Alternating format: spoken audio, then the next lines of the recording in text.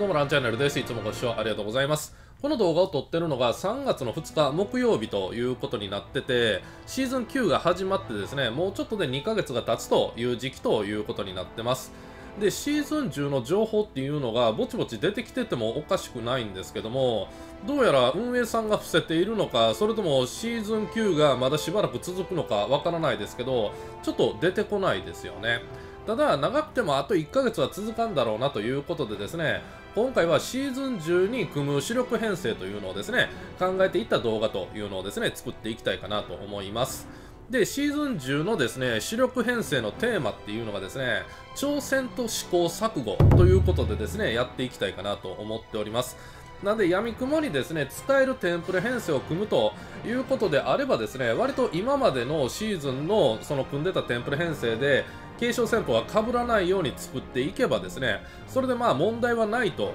いうことにはなってるんですよね。今まで満足のいく結果を出してくれたテンプレ編成っていうのをいくつか作ってきたの、使ってきたので、それを使えばいいということになるんですけど、やっぱり同じ編成ずっと使ってると飽きてくるんですよね。で、飽きイコールゲーム離れっていうのにもつながりますので、いろんな編成を試行錯誤しながら対人戦をするのがね、このゲームで一番楽しい瞬間になるんじゃないかと思いますので、ちょっと同盟の方には申し訳ないですけどね、え活躍よりもですね、え挑戦と試行錯誤というのをですね、優先したいということでですね、今回はそのテーマで作っていきたいかなと思ってます。でですね、その結果ですね、多くの主力編成っていうのを作れないということなんですよね。継承戦法がかぶっちゃって、その第6、第7っていう感じで作るとですね、あまりにも強度が下がってしまうということになりますので、今回は5つの編成に絞らせていただきました。でですね、その5つの編成だったら、フォログにもしなったとしてもですね、そのまま運用できるっていうことになりますし、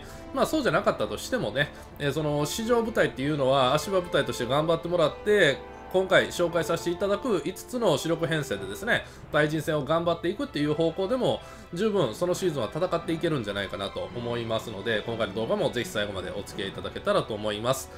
で、一つお断りなんですが、シーズン10の情報が出てきてなくて、で、さらにシーズン10での新部署が登場するガチャっていうのもですね、多分回すと思うんですよね。それの結果次第ではですね、今回考えた編成っていうのを使わないかもしれないということですね。で、僕の予想ではですね、SP 観光と SP 重宝がですね、日本ではシーズン10で実装されるんじゃないかなと思ってますので、もしスタダガチャなんかでですね、この観光重宝両方引けるみたいなことがあったらですね、今回の案っていうのはですね、一旦保留とさせていただいて、また新たに一つ動画を追加で作るという点だけご了承いただけたらなと思いますのでよろしくお願いします。そしたら始めていきましょう。まず一つ目がゴンス武法像ですね。この編成はですね、ゴンス上昇さんにご応募いただいた編成ということで、先日動画の方でも紹介させていただいてます。詳しい内容が知りたいという方はですね、そちらの方を見ていただけたらなと思うんですけども、継承戦法なんかを見るとですね、まあ、この編成が1軍になるだろうなという感じですね。ランクアップもしっかり進んでますしね。で、総人に魅惑と武法人、で、テイクに太平同胞と活目相対、で、各章に、えー、活骨領毒と造兵ということになってます。で、造兵のデメリットっていうこともですね、その以前の動画ではお伝えさせていただいたんですけども、まあそこら辺を考慮してもですね、応募いただいた編成そのままでいいんじゃないかということでですね、今回はいじってないということになってますね。宗人の固有戦法や、あと魅惑や武法人の効果によってですね、弱体状態が相手に付与されますので、テイクの火力っていうのは相当出るであろう編成ということになってますね。まあ余裕があればですね、調整はしていこうかなと思うんですけども、とりあえずこの編成で頑張っていってもらえたらなと思います。ただですね、ちょっとこれ耐久型寄りっていうことになってますので、スタダとかでは使えませんし、その組み終わる順番っていうことになると結構最後の方になってしまうかなとは思ってますけどもね。結構耐久型って4番目、5番目に仕上がる、えー、主力編成っていうことになりがちなんで、まあ来シーズンもそうなるんだろうなということは予想しております。はい、次、第2編成なんですけども、乱世人回ということでですね、考えてみました。これも見たこともなければ使ったこともないということでですね、挑戦になるんじゃないかなと思うんですよね。ゴンス上昇さんの編成に関しても同じことが言えるということなんで、え挑戦する編成としてはですね、2部隊目ということになりますね。なんでこれ両方弱かったりしたら、ちょっと来シーズン悲惨なことにはなるかなと思うんですけども、そこまで弱くはならないんじゃないかと思います。で、乱世人回ということはですね、回じゃない純粋なバージョンがあるのかということを疑問に思われる方はですね、過去の動画振り返っていただけたらなと思うんですけども、この勧銀兵と所持を使うというテーマでですね、作った編成があって、それがいまいち強くなかったんですよね。で、お蔵入りと言いますか、すぐ解体しちゃったっていう歴史が僕にはあるわけなんですけども、まあ、再挑戦ということですね。カンギーペイ結構ランクアップが進んでるので、使いたいっていうことでですね、えちょっとどのような編成になるかっていうことをですね、いろいろ考えてみた結果、このようにさせていただきました。カンギンペイを首相として、花公園と集体を副将とした三星人の編成なんですけども、速攻型に近い形になりますかね。で、えー、ダブルアタッカーという形にさせていただいております。カンギンペイと花公園ということですね。で、花公園は貫突してますので、結構火力は出てくれるんじゃないかなと思うんですけども、で、一応編成のコンセプトを見ていきたいんですけど、まず集体に覚えさせてる意気焦点ですね。で、勘銀兵に覚えてる戦軍一層ということでですね、封印を与えつつ強行にもできるという意気戦軍系統と僕が呼ばせていただいてるやつですね。古新弓とか、あと新艦槍とか、ゴキバとかがそれに当たるかなと思うんですけども、それの亜種ということでちょっと考えてみました。かなり強行付与する機会は多いんじゃないかと思います。ガンギンペの固有戦法でもですね、かなり強行率は高くなるということになってますので、制御に弱い部隊に対しては一定の効果がある編成になってるんじゃないかと思いますね。で、三星人をですね、集体に覚えさせて、で、韓銀兵の固有戦法の発動率を上げるということなんですけど、韓銀兵の固有戦法ってもともと発動率高いので、三星人によってめちゃめちゃ発動するんじゃないかと思います。発動しない方が珍しいっていうレベルになるかなと思うんですけども、で、三星人のもう一つの効果として、えダメージを受けてる方の副将の耐久力を上げて、もう片方の副将の火力を上げるというのがあるんですけども、この編成の場合はですね、集体の方がどうしても、えー、兵力を削られる形になりますよね。ダメージの一部を分担してですね、自分が請け負うというような固有戦法の内容になってますので、で、それでによってですね、集体の耐久力が上がってくれるということですね。これ一石二鳥ですね。で、さらにそうなるとですね、もう一人の副将、花公園の火力も上がってくれるということで、三星人が一石三鳥の働きをしてくれるということに目をつけて、ちょっと今回の編成考えてみたというところですね。で、あとは特に珍しい部分はないかなと思うんですけど、過去への来決戦と一気当選でですね、え、この一気当選がしっかり発動してくれることによってですね、え、強行は相当付与できるんじゃないかと思ってます。で、ランダに関してもですね、今のところ1つ持ってて、で、もしですね、このままシーズン9がですね、えー、うまく推移してですね、終わることができたらですね、ランダ2つ目も入手できるかなというふうに思ってますので、そうなるとさらに強行付与機会は多くなるということで、かなり期待してる編成ではあります。ネックといたしましては、周体のランクアップが全然進んでないっていうところですよね。それでも強いのかどうかみたいなところもですね、見ていただけたらと思っております。で、3つ目の編成なんですけど、天皇弓でいきたいかなと思っております。で、テーマに沿うとですね、この編成は試行錯誤に分類されるんじゃないかなと思うんですよね。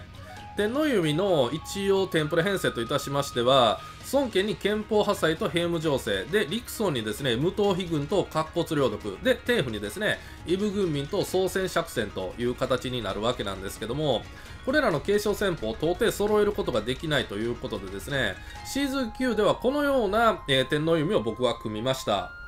それがこちらなんですけども、テンプレと違うところはですね、リクソンの無党非軍と甲骨領土をですね、混迷乱城と配中台にさせてもらってるというところとですね、っていうふうに覚えさせてる奇形人ですね。ここ本来はイブ軍民がいいんですけども、他で使ってるのでということで、このようにしました。で、これでも天皇弓結構強かったんですよね。僕はめちゃめちゃ気に入って使ってる感じになってるんですけど、割と激戦なんかも連発してくれるということで、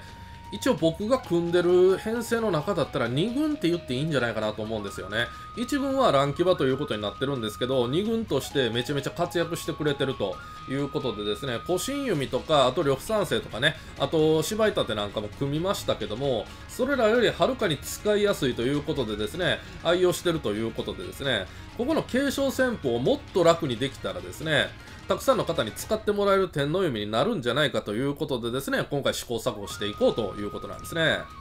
で、先ほど見ていただいたオリジナル継承戦法の天皇弓と変わってる部分と言いますと、孫家に覚えさせてる兵務情勢をですね、国的聖書にしてるわけなんですね。こちらの戦法の内容というのをですね、一応おさらいしておきたいんですが、通常攻撃後目標に計略ダメージを与えて目標が階層状態または中毒状態の場合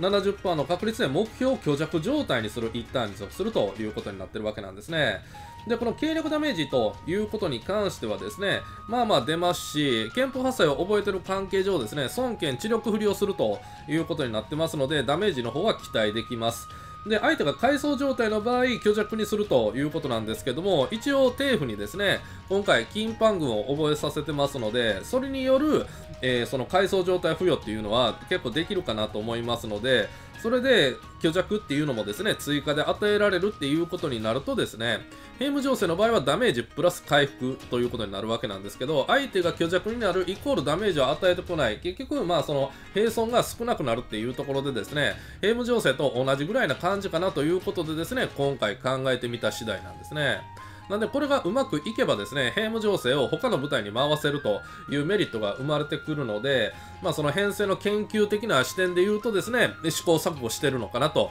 いうふうに客観的には見えるので、そのようなテーマに沿っての編成ということで位置づけさせていただきました。で、金パン軍なんですけど、実は僕持ってはいるんですけども、今までまともに使ったことがない兵種戦法っていうことになってるんですよね。なんで強さの実感っていうのがあまり湧かないんですけども、この通常攻撃の時に40%の確率で目標階層状態にするという効果なんですけども、これ孫権がですね、一応連撃になりやすいということになってますので、結構相性いいんじゃないかなっていうふうに思うんですよね。まあだからこそ昔からその孫権と金パングって合わせて使われることが多いんじゃないかと思うんですけども、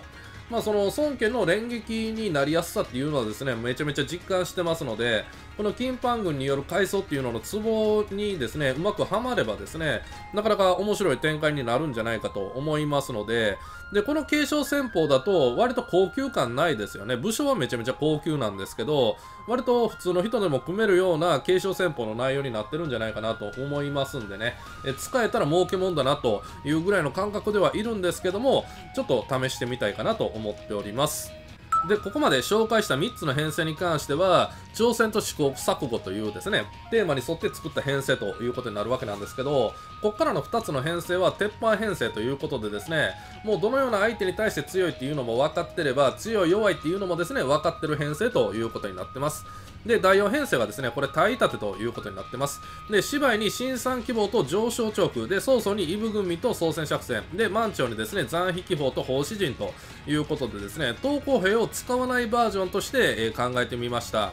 で、奉仕陣のところは軽地陣でもいいかなと思ったんですけども、まあ一応暫定的に奉仕陣にしてます。ここは変えるかもしれないですね。で、上昇チョークのところなんですけど、本来活目相対が良かったんですけどね、ちょっとそのゴンスーブ宝像に取られてしまってるので、代わりに上昇チョークを入れた上でですね、芝居の耐久力がちょっと不安ということでですね、残引き法を入れさせていただきました。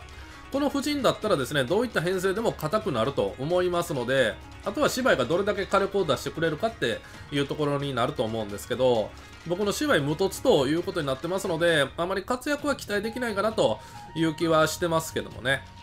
ただまあその硬さからですね、平時ダメージ系、まあ投稿兵はないんですけども、それでもなんとか対抗できるかなということでですね、一応組んでみてます。これでどうしてもですね、呂布三世とかですね、他まあ5騎馬とかですね、火力の高い騎兵編成に抜かれるということになったらですねえ、投稿兵を使いたいかなと思っております。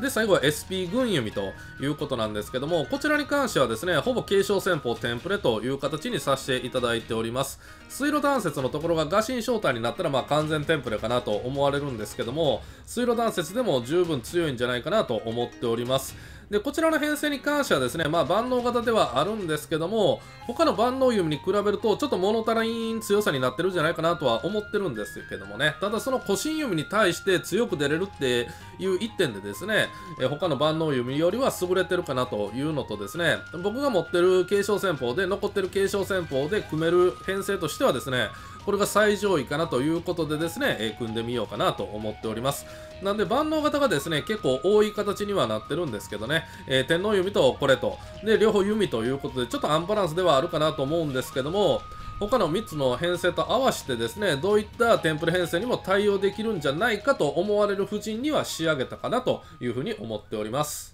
はい、いかがだったでしょうか？結構ね、その次のシーズンでの主力編成を考える動画っていうのはですね、自己満に過ぎないかなと思うんですけども、たくさんの方にね、えご視聴いただけるということでですね、えそういった嬉しさっていうのも後押ししてですね、早めに作りたいっていう気持ちが先立ってですね、次の新部署っていうのがですね、はっきりしてない段階で作らせていただきましたけども、結構その面白そうだなって思っていただけるような編成も多いんじゃないかなと思ってるんですよね。まあその挑戦と試行錯誤両方まあ全然うまくいかなかったとなったらですね活躍してくれる舞台がないということになってますのでその辺はですねちょっといじりたいかなと思うんですけどもコンスブ放送に関してはまあ弱くはないやろうとは思ってるんでねその先方結果って言ったらいいんですかねもうしっかりと動画にさせていただこうと思ってますので今後ともランチャンネルをよろしくお願いいたします。そしたら今回の動画が面白かったとかためになったと思っていただける方はグッドボタンとチャンネル登録、あとツイッターのフォローの方よろしくお願いします。Twitter のリンクは概要欄です。最後までご視聴ありがとうございました。